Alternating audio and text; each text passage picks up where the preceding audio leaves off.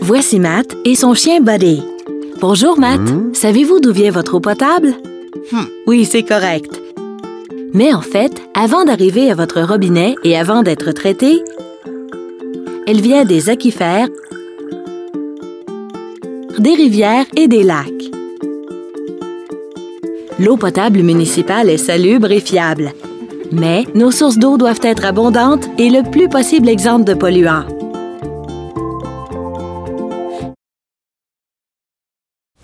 Saviez-vous que nous habitons tous dans un bassin hydrographique?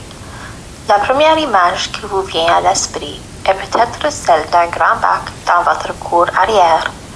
Mais un bassin hydrographique est bien plus que cela. C'est une grande parcelle de terre dans laquelle toutes les eaux de pluie et de la fonte des neiges s'écoulent et se déversent dans un même endroit, comme une rivière ou un lac.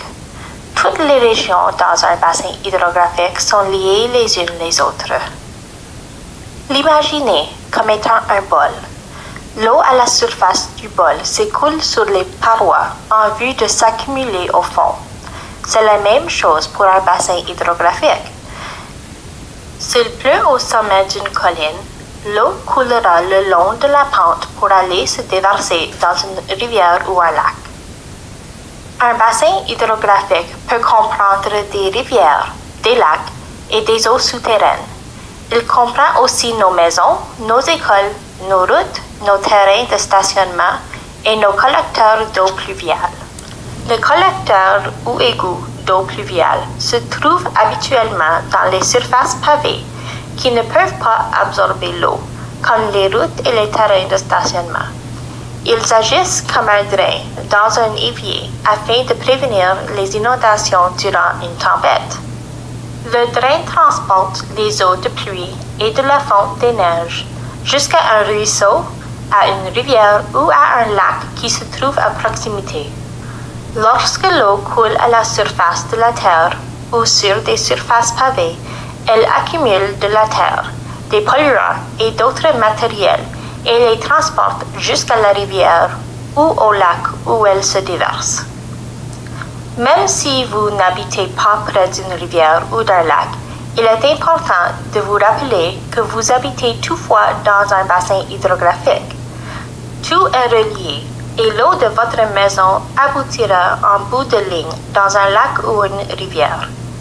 Les bassins hydrographiques sont importants puisqu'ils nous procurent l'eau que nous buvons, l'eau que nous utilisons pour cultiver nos terres, ainsi que l'eau que nous utilisons pour y entreprendre des activités comme nous baigner.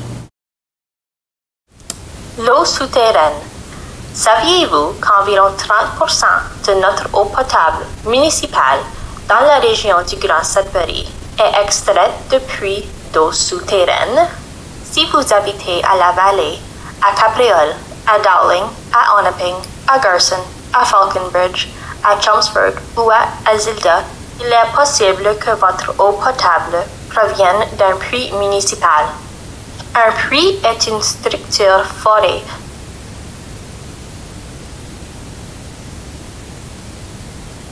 profondément dans le sol pour y trouver de l'eau. C'est un peu comme une géante paille en métal glissée profondément sous terre pour tirer l'eau d'un réservoir d'eau souterraine que l'on appelle un aquifère. Lorsqu'il pleut ou qu'il neige, l'eau pénètre dans le sol et s'y accumule dans le gravier, dans le sable et entre les roches. Le puits ou la géante paille extrait cette eau et la remonte à la surface, jusque dans cet immeuble. L'eau est nettoyée au moyen d'un processus de traitement afin qu'on puisse la boire en toute sécurité, puis elle est acheminée à nos maisons. Dans le Grand Sudbury, un puits peut être foré jusqu'à une profondeur de plus de 50 mètres. Imaginez quatre autobus scolaires empilés verticalement, tête à queue, les unes sur les autres. Bien que nous ne puissions pas voir l'eau souterraine, elle fait tout de même partie de nos bassins hydrographiques, puisque la pluie et la neige s'infiltre dans le sol en vue de réapprovisionner l'aquifère. Voilà la raison pour laquelle nous devons nous rappeler que ce que nous faisons à l'école et à la maison peut influer sur nos sources d'eau souterraines. Il est important que nous faisons notre part pour aider à les maintenir propres. L'eau de surface. Une grande partie de notre eau potable municipale provient de sources d'eau de surface. Une eau de surface, c'est une masse d'eau à la surface de la Terre que nous pouvons voir, notamment les ruisseaux, les rivières et les lacs. Les eaux de pluie et de la fonte des neiges aident à réapprovisionner nos sources d'eau de surface.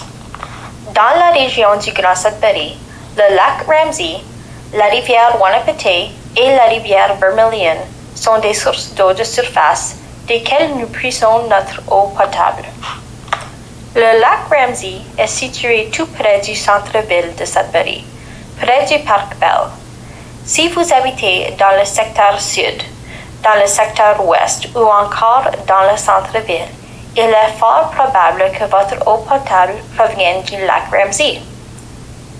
Pour puiser l'eau du lac, un grand tuyau s'étend de la rive jusqu'au milieu du lac. Ce tuyau est situé profondément sous l'eau hors de vue. Le tuyau agit comme une paille qui tire l'eau jusque dans cet immeuble, où l'eau est ensuite traitée. Une fois propre, l'eau est acheminée à nos maisons et s'écoule de nos robinets pour notre consommation. Nous utilisons le même processus pour puiser de l'eau de la rivière Wanapete et de la rivière Vermilion. Bien que l'eau dans une rivière coule différemment que celle dans un lac, il s'agit tout de même d'une eau de surface. Nous utilisons un grand tuyau pour puiser l'eau, puis nous la traitons et la livrons à nos maisons. Si vous habitez à Coniston, à Wanapete, au Nouveau-Sudbury ou à Marks Warren,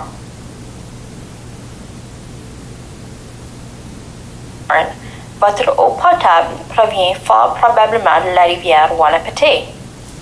Si vous habitez à Lively, à Naughton, à Whitefish ou à Coppercliff, votre eau potable provient fort probablement de la rivière Vermilion.